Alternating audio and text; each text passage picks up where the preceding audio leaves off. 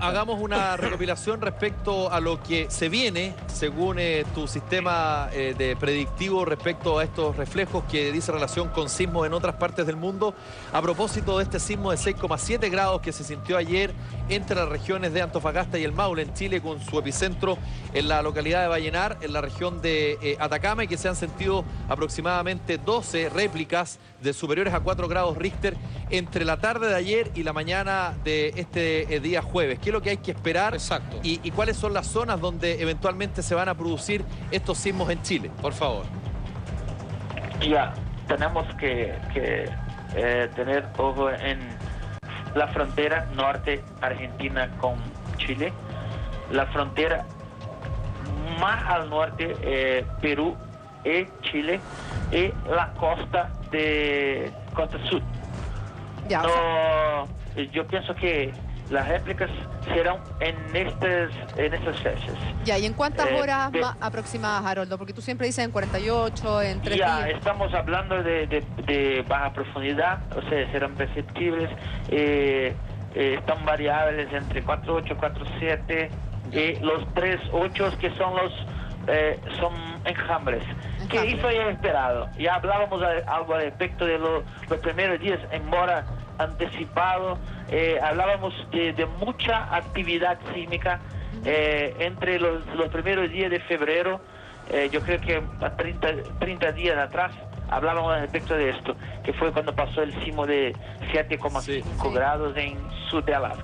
Haroldo, cuando tú hablas de estos sismos que se pudiesen producir en el norte de la frontera con Perú, en el centro con Argentina y en la costa sur de Chile, eso es, en buen castellano, prácticamente todo el territorio nacional. Por lo tanto, concluyo e interpreto que todos de una u otra manera tenemos que estar preocupados respecto a estos sismos. Por lo tanto, va a haber una actividad un poquito, si se quiere, superior sísmica en todo Chile, desde el norte hacia el sur. ¿Eso es más o menos lo que tú nos estás tratando de explicar? Sí, porque eh, está hablando que en la, hubo un sismo 5,9 en, el sur de Alaska hace 4 o 5 horas atrás. Eh, hubo, eh, 9 horas atrás un Santa Cruz 5,6 y un 8 horas 5,6. Entonces hace eh, ese rato de tiempo que estamos mirando que la actividad sísmica está muy alta y tanto en sur de Alaska, que en el hemisferio, norte, y como en eh, las islas Santa Cruz, que se queda en el centro, están puntos que son conexiones tanto para sur del país como para norte, frontera con ah, Argentina y América Central. Haroldo, eh, insisto, Insisto, perdona que te interrumpa con mi pregunta. Tú hablas de los próximos sismos que se van a sentir en nuestro país, en el norte. Días, claro, en cuatro o cinco días más. Y es importante volver a reiterar la magnitud de estos sismos que no pasarían más allá de los 4,8 grados. No, no, no, eh, yo no puedo hablar que no va a pasar porque seguimos cercano a los 5 o 6, eh, se generan en el otro continente, se viene con intervalos de, 24 ah, hasta 36 horas. Ah, perfecto. Lo que puedo decir es que las réplicas son seguras, esto lo a sentir.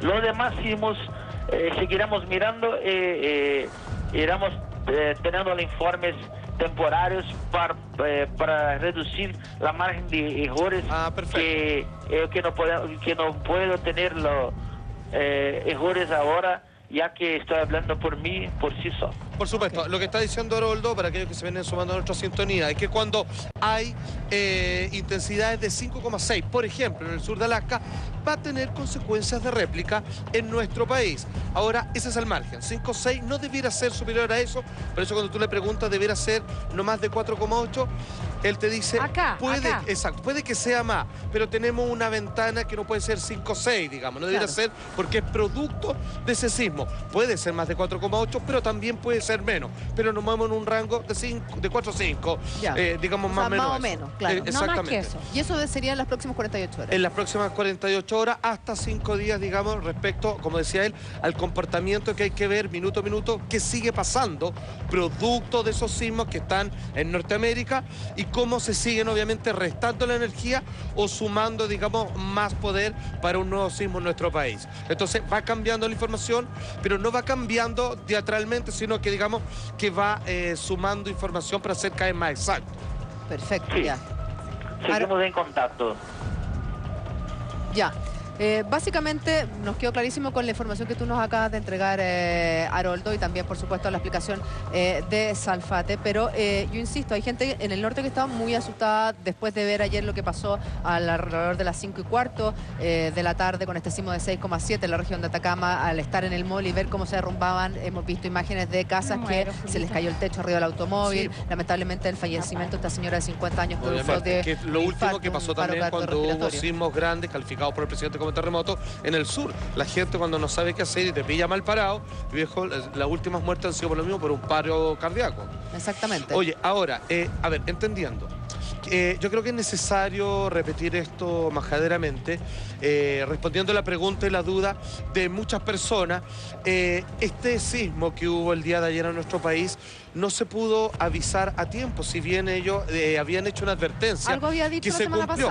Ellos hablaron un rango de 7 a 10 días fue en siete días. Zona centro-norte. Exactamente, fue en los siete días justos. O sea, de alguna manera lo anticiparon. Sin embargo, debido a las presiones, producto de que hay personas que le incomoda mucho el hecho de informar, digamos, a través de este sistema estadístico de predicciones, ellos tuvieron que separarse como agrupación. Es por eso que hoy por hoy, solo en su persona, en su nombre, Aroldo Maciel, se comunica directamente por un nivel de compromiso, cariño que nos tiene con nosotros, hablar directamente. Pero ya Wade Red Alert no existe. No está vio obligada a desintegrarse. En todos estos días, Haroldo ha tenido que mudarse de oficina eh, para así proteger, digamos, al grupo de amigos que lo ayudó en este proyecto. Y es por eso, digamos, que no pudimos saber con antelación lo que iba a pasar ayer cuando él, sí, obviamente, ahora, dado de observación, pudo habernos advertido. Entonces, por eso es muy importante, eh, digamos, apoyar este sistema que estadísticamente, digamos, está a su favor en cuanto al nivel de acierto. Y quiero, por favor, decir esto que quizás a muchos no les compete, pero a través de este mismo sistema, en los próximos cinco días puede haber, y me voy a tomar de las palabras de mi amigo, un terremoto en Centroamérica y o China. Así que atención con eso, si es que alguien tiene pariente o conocido, etcétera, etcétera.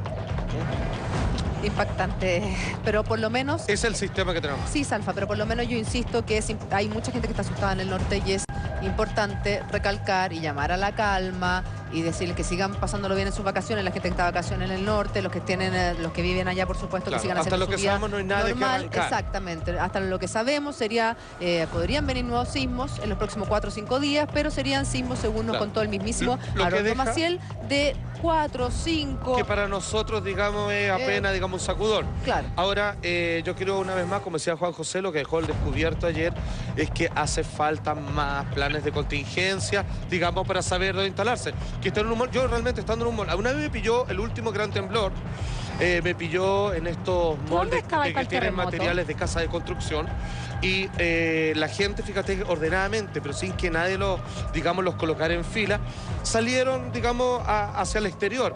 Pero obviamente cuando uno se encuentra en estos lugares, todo es una amenaza. O sea, yo estaba en el pasillo de las picotas y las palas, pues, o sea, te juro que estaba, digamos, rodeado. ¿Al terremoto dónde estaba? Estábamos en Viña. Estábamos en Viña. No te ah, que yo no, estaba, no, que yo